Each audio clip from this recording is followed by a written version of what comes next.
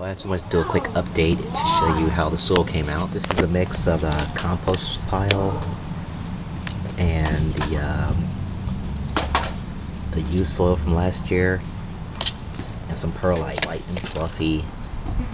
The perlite should add extra drainage.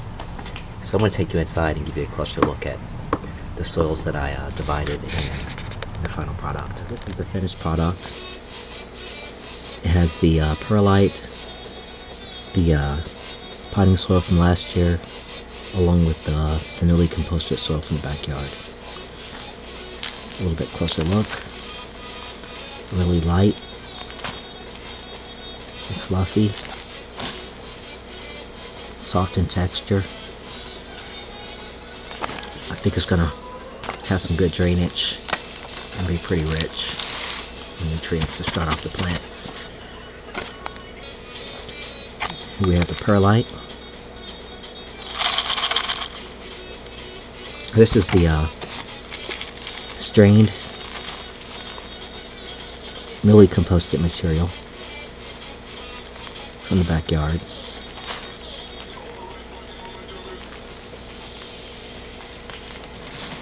Really rich, fluffy and light, dark soil. I think it's pretty rich in worm castings.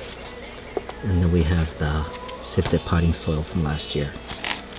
A little brown in color. Um, it feels heavy.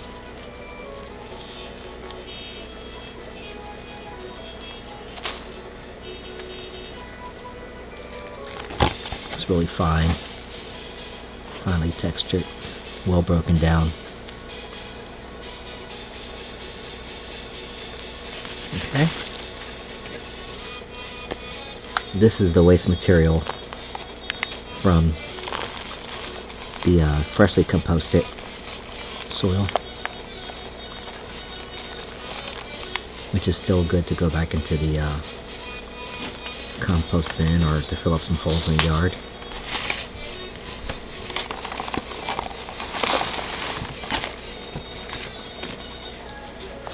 This is the debris from the uh, soil that was used last year. Plenty of rocks and pebbles, unbroken down soil material. There's some roots in there. Really, really heavy.